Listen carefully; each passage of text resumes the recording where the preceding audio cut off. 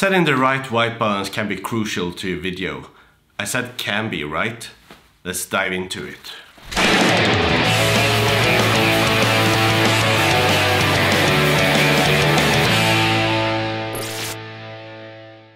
Hey and welcome to my channel. My name is Erik and today we're gonna talk about white balance and why it's important. I myself is a Sony shooter and using my a7 III, but this will cross over to any camera.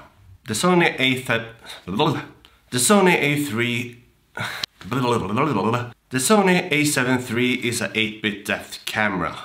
What that means is that it can only store 8-bit depth of colors and tend to break more easily than a 10-bit color camera when you push the colors too hard.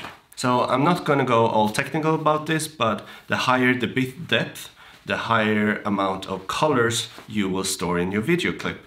And that will make it way easier in the grade.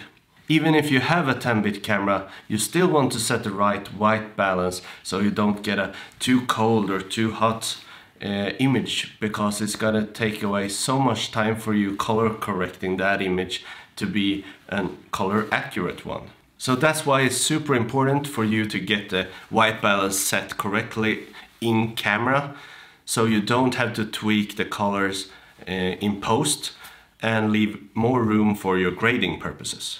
So what is white balance then? The white balance is the way for the camera to determine how white looks like in different color temperatures and make it look more realistic to the eye.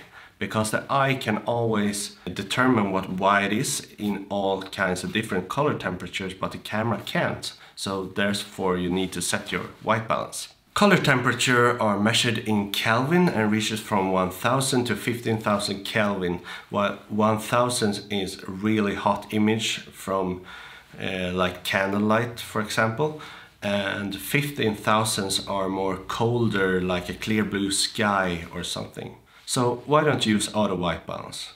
Well, Auto white balance will try to determine the color temperature all the time during the shoot. So if anything changes, it will shift the tone and it can do so several times during one single clip.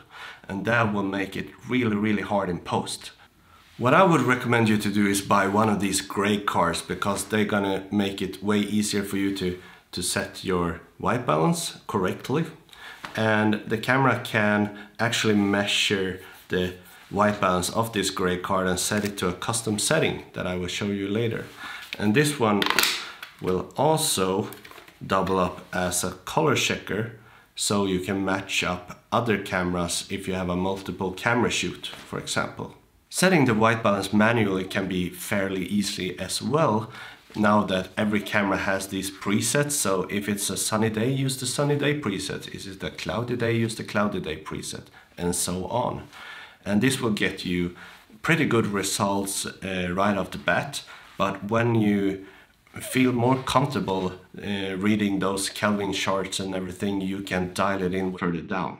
So this will take a bit of practice but it will get easier every time you do it so just hang in there and as a last tip for you um, this is a bit of a sheet but you can use auto white balance. Wait what? Yeah yeah yeah hold on. You can use it to check how the white balance looks like with the auto white balance and then you can tone it in by yourself.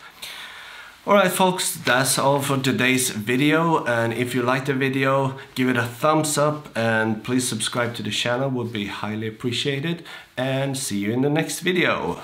Bye bye!